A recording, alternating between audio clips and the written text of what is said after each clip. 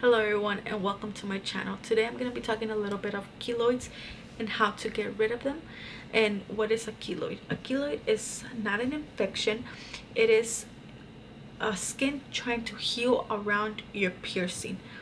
And what it causes is a little ball around a piercing. Like for me for example i had it on my nose ring i was very embarrassed to have it around there just because i mean you're interacting with people and i mean i felt like people could see it so um i tried tea tree oil and it takes about two weeks to um remove um the keloid um I've also tried sea salt. Um, I tried H2O. I tried um, alcohol. I tried dial soap. None of it worked except tea tree. I would put it once in the morning, once at night.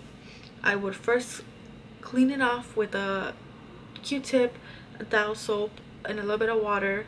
Clean the area around the piercing then I would rinse thoroughly then I would go ahead and add a couple of drops to a um, q-tip and then again just dab around the, the piercing and on the keloid. It took about two weeks to remove it um, and ever since then it hasn't come back. I mean it's been about a month now that I've tried it. I did a lot of research on it. Um, I looked for a lot of videos on YouTube and on Google. I searched and searched um, and couldn't find anything that would help me until on one search it said to try tea tree so I did and I mean that's why I'm making this video now just so everybody that has the problem could just buy tea tree at Walmart CVS Walgreens um, Sprouts. They have it for about six bucks and it works really good.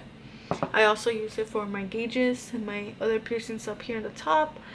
Um, if you like this video and you thought it was helpful please give it a big thumbs up. If you have any questions comments concerns leave it on the comment bar below. Um, and if you guys would please subscribe to my channel. I will see you guys next time